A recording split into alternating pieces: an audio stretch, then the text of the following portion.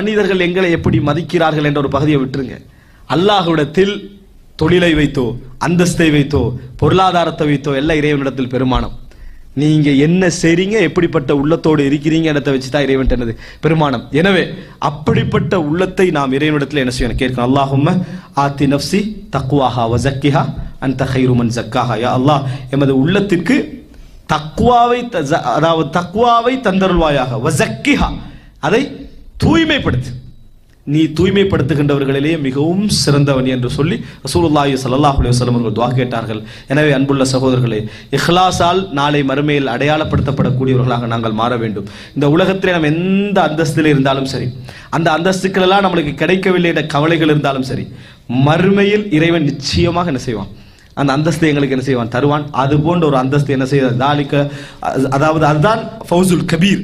மிகப்பெரிய வெற்றி அல்லாஹு தாலா சொல்லி காட்டுகிறான். அந்த வெற்றி அல்லாஹு தாலா எம் அனைவருக்கும் தந்தொருள் பாலிப்பானாக.